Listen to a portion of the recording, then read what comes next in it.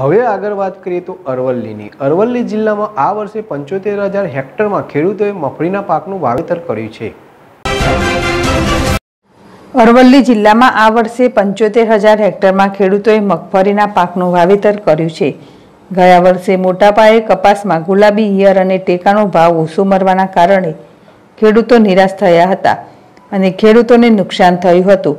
ત્યારે આ વર્ષે ખેડૂતોએ ચાર ગણું મગફળીનું વાવેતર જોવા મળ્યું હતું. અને આવનાર સમયમાં જો ખેડૂતોને ટેકાના ભાવે ખરીદવામાં આવે, તો ખેડૂતો આત્મનિર્ભર બની શકે એવી આશા રાખી રહ્યા છે.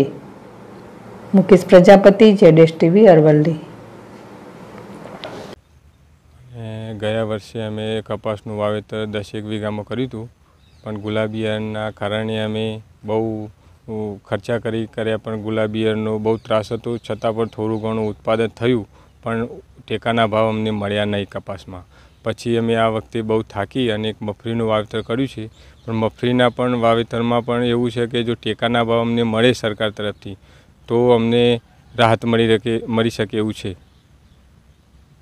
ગઈ વખતે ખેડૂતો કપાસનું વાવેતર એટલું બધું મબલખ પ્રમાણે કર્યું. ખેડૂતોને એમ હતું કે આગળના વર્ષે અમે જે કંઈ ખોટ ખાધી છે, એ ખોટ કદાચ કપાસ સદભર કરશે. કપાસના જીંડવાઓ જોઈને ખેડૂતો ખૂબ રાજી થયા. અને જેમ કહેવત છે કે જેમ ખેડૂત ઉપર જેમ પાક જોઈએ, એમ એનો પગ ઉપડે, એમ એના ખર્ચાઓ, એની પર દવાઓના છંટકાવ, ખાતરોના ખર્ચાઓ ઇતર ખર્ચાઓ ઊંચા પ્રમાણમાં કર્યા અને ઊંચા પ્રમાણમાં ખર્ચાઓ કરવાના કારણસર ખેડૂતોને ઉત્પાદન ક્ષમતા જે મળવાની હતી એ મળી શકી નથી.